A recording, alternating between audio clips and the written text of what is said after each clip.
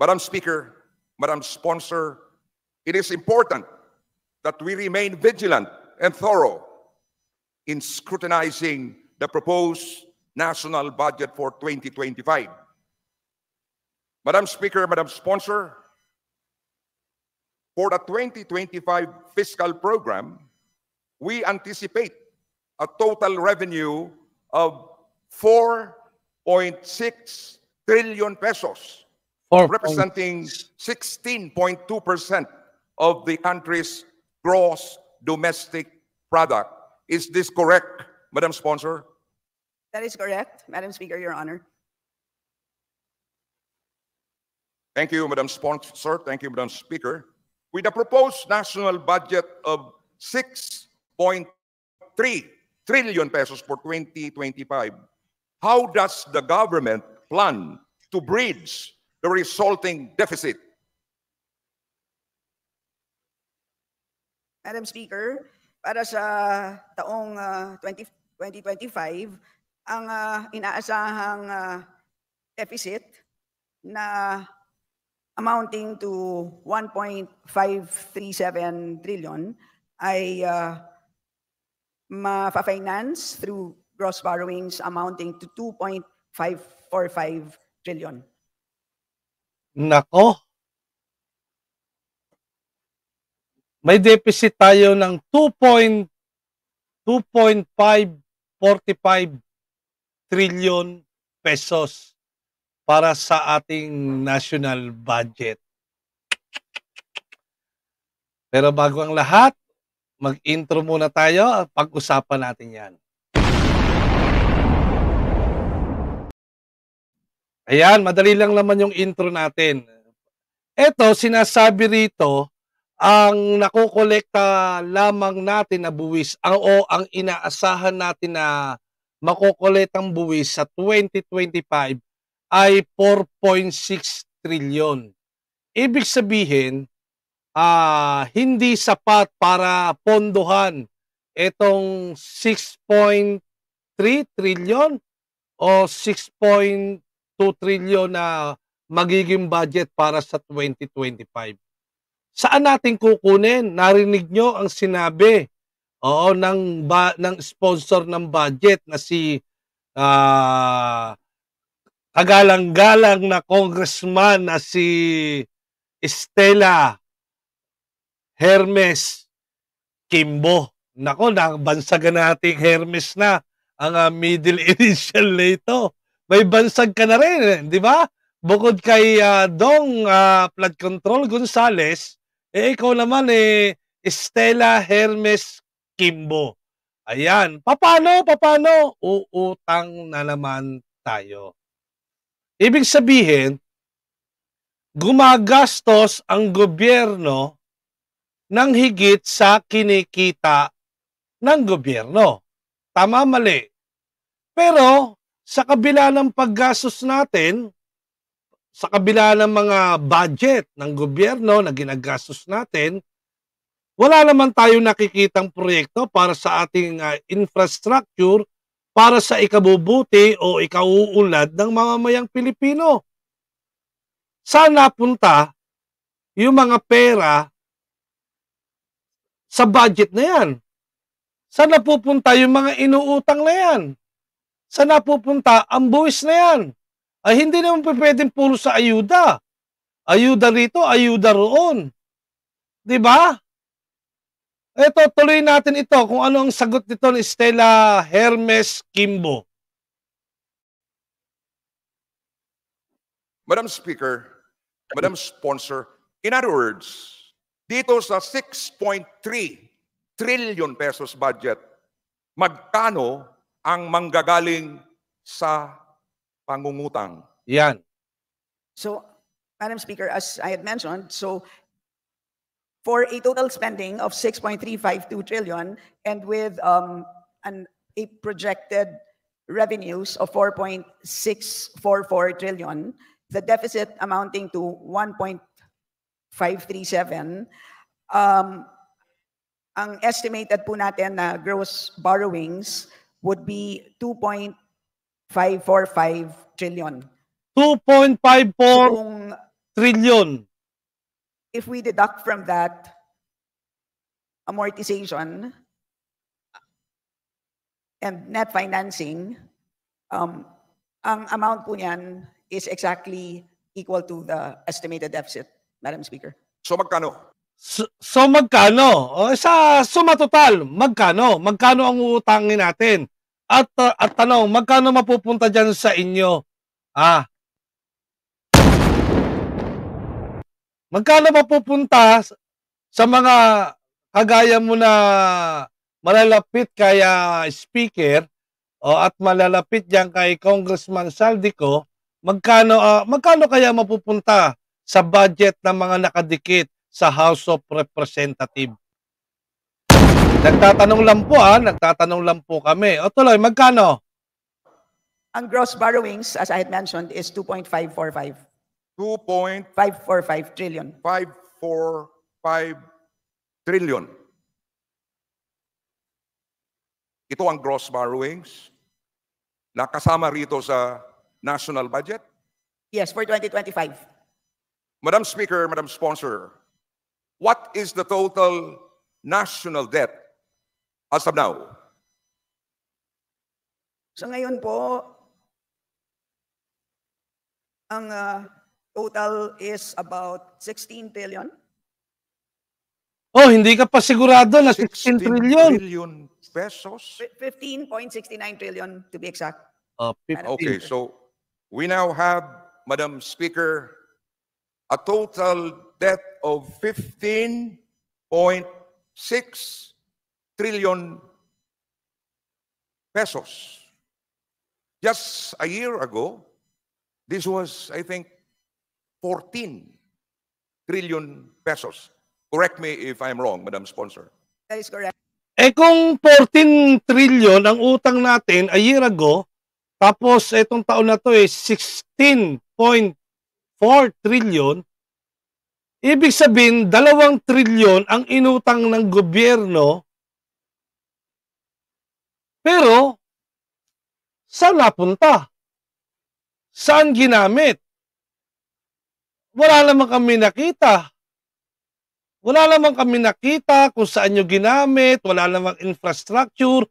Halos lahat naman ng mga proyekto na naumpisahan na, na naumpisahan ni President Duterte, eh hindi naman namin nakita na ipinagpapatuloy ninyo. Eh kagaya nung budget ng MRT7 para matapos na yan, ilang bilyon na lang yan. Eh hindi pa rin ninyo napunduhan. Tapos uutang na naman tayo para sa di umano'y mga infrastructure project at paggasta rito sa pagpapatakbo ng gobyerno, eh, wala naman kami nakikitang trabaho. Sa nating, sa nating kukunin ang ipambabayad dyan, eh, wala namang tayong ano, tinatawag na mga foreign investor na nag-i-invest, di- nag-i-invest dito sa bansa natin para makapaghanap buhay ang mga Pilipino. Meron na ba? Meron nasa na ba yung mga report? Ano nga pala kumusta na nga pala yung report ng mga mga investor na nakuha ni BBM na nag-pledge sa kanya sa kanyang mga biyahe? Meron na ba nag-invest? Ano-ano? Parang uh, nakalimutan na niya na yata ninyong sabihin kung sino-sino yung mga yan. Mga investor na yan. Eh, di ba dapat eh, para magkaroon tayo ng savings, di ba? Di ba dapat, sabi nga ng nanay natin, mga magulang natin, gumastos lang tayo ng naayon sa ating kinikita. Parang ikaw, Stella Kimbo, dapat gumastos ka lang ng naaayon sa iyong kinikita. O, di ba? Magkano ba ang kinikita mo bilang isang congressman? O, yun, sagutin pakisagot po ninyo yan. Eh, kasi kung nakikita namin yung mga luho ninyo, mga sasakyan ninyo, sapatos, damit, bag, relos, eh parang hindi naman yata umaayon yan sa kinikita natin. Di ba? Wala naman tayong pandemic ngayon. Bakit parang napakalaki? O nang uutangin natin kaysa sa kinikita, no? Para gastusin. Nako, nako, nako, nako, nako. Patay tayo dyan. O, tuloy natin. Correct, Madam Speaker, Your Honor. So, Madam Speaker, Madam Sponsor, what specific measures or strategies will the government implement to address the shortfalls? Madam Speaker, Your Honor, ang pinaka-importante pagdating sa ah, utang ay ang tinatawag na debt to GDP ratio. Ibig sabihin, hindi yung absolute amount ng utang, kung hindi yung relative amount ng utang. Ibig sabihin, kung gaano kalaki ang utang kumpara sa kabuang kita ng ekonomiya. So today, our debt to GDP ratio is 60.9%. Um, at sa ngayon, Parang kabado to, Ah. Kimbo ah. tayo naman po, itong uh, debt to GDP ratio ay manageable po. At uh, as of now, tayo naman po ay uh, on track to our target of 56.3 na Madam debt Speaker. to GDP ratio by 2028. So ang ibig sabihin, um, Madam Speaker, ang uh, ating pag-manage ng utang is really sa pagpapalaki ng kita. So in other words, uh, kailangan pag umutang tayo, kailangan maging productive ang paggamit ng utang. So kina, kinakailangan, pinapalaki natin ang ating kita para mabayaran natin ang ating utang. So in other words, debt to GDP Kaninong kita? Kaninong kita? Kita ng mga politiko o kita ng gobyerno? Mhm. Pakituloy. GDP, yung GDP nasa denominator, hindi po ba? So, habang pinapalaki natin ang ating GDP, pinapalaki natin ang denominator, ay napapababa natin ang debt to GDP over time.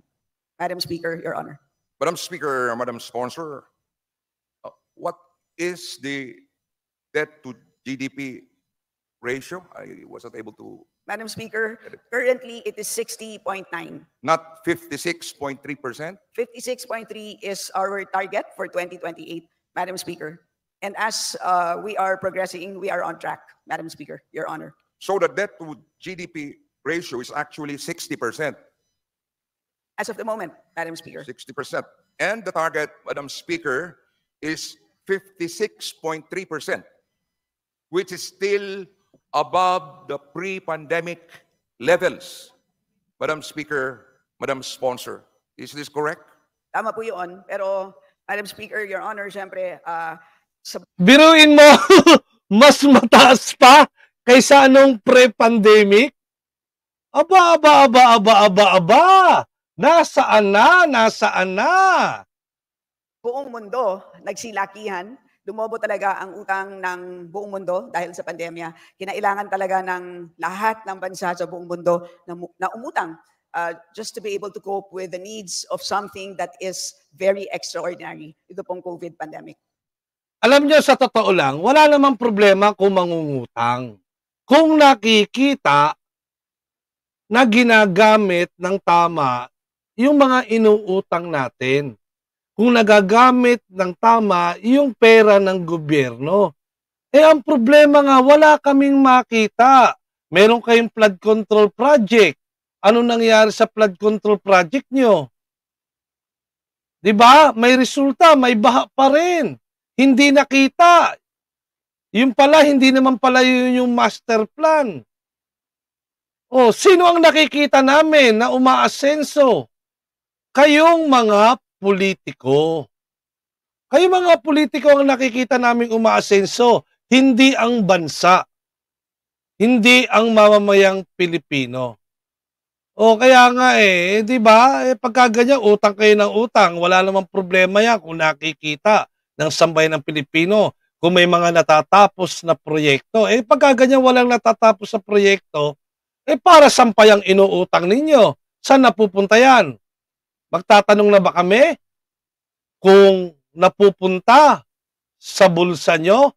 Eh nagtatanong lang kami ha. Nagtatanong lang. Yeah, thank you, Madam Speaker, Madam Sponsor.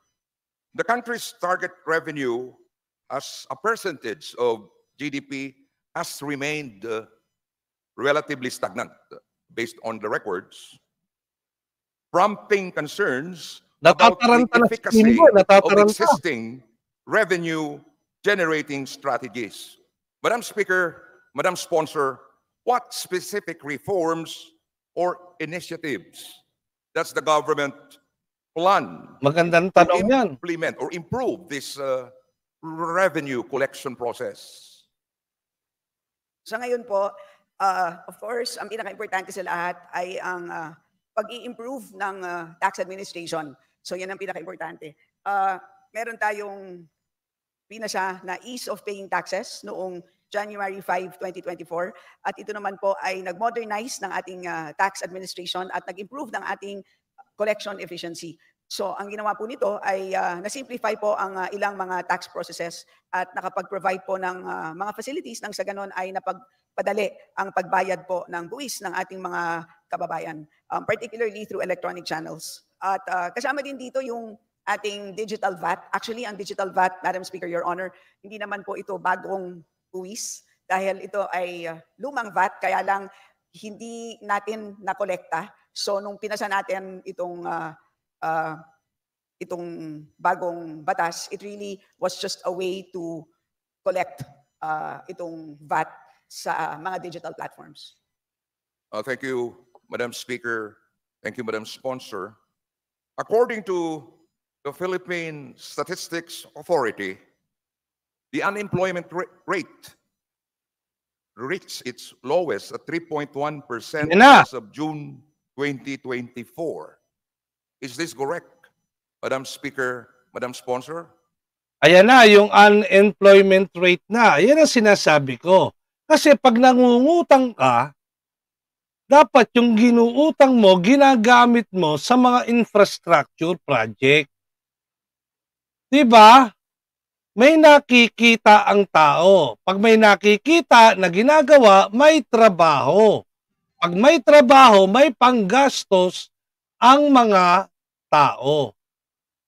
Basic na basic eh. Ang tanong nga eh, wala nga kaming nakikitang mga infrastructure project, ah, Congresswoman Estela Hermes Kimbo. Wala.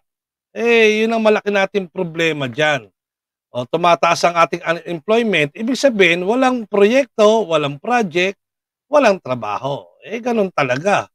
Eh, at least kayo may pera. Oo, hindi lang namin alam kung saan galing.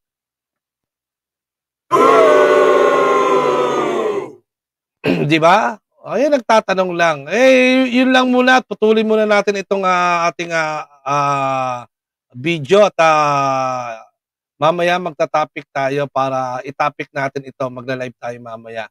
Yun lang, huwag nyo kalilimutan mag-subscribe, mag-like, at i-share ang video na ito. Maraming maraming salamat. Love you all. Mua mua chup chup. Babu.